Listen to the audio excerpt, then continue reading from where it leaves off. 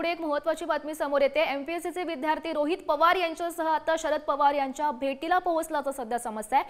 पुण्यातल्या मोदी बागेत सध्या ही भेट सुरू आहे. पुण्यात आज पुन्हा एकदा एमपीएससीचे विद्यार्थी आंदोलन करण्याची सुद्धा शक्यता वर्तवण्यात येते. कृषी विभागातील पदांबाबत निर्णय न झाल्यानं ते आंदोलन करण्यावर ठाम आहेत आणि विद्यार्थ्यांच्या पोलिसांकडूनही विशेष खबरदारी घेण्यात आली आहे. महत्वाची बातमी आपण सध्या पाहतोय.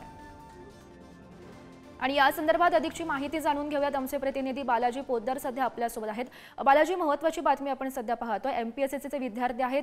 हे रोहित पवार यांच्या स- सह शरद पवार यांच्या भेटीला पोहोचल्याचं समजत आहे मोदी बागेत नेमकं सध्या काय घडतंय? कारण आज पुन्हा एकदा एमपीएससीचे विद्यार्थी आंदोलन करण्याची शक्यता आहे. नक्कीच. काल रोहित पवार यांनी आंदोलन संपलं असं सांगताना म्हटलं होतं की आपण शरद पवारांची भेट घेऊ आणि आपल्या ज्या उर्वरित मागण्या आहेत त्या मान्य करण्यासाठी शरद पवार हे मुख्यमंत्र्यांशी भेट घेतील बैठक घेतील आणि त्या मागण्या मान्य होईपर्यंत शरद पवार सुद्धा तुमच्यासोबत असणार आहेत. परंतु आता हे आपण आंदोलन मागं घेऊ आणि त्यानंतर ते आंदोलन त्यांनी मागं घेतलं होतं. मात्र विद्यार्थी आंदोलनावर ठाम होते. आज काही विद्यार्थी जे आहेत ते ज्यांच्या मागण्या मान्य झाल्या नाहीत ते कृषीचे विद्यार्थी आहेत आणि कंबाईन परीक्षेचे विद्यार्थी आहेत.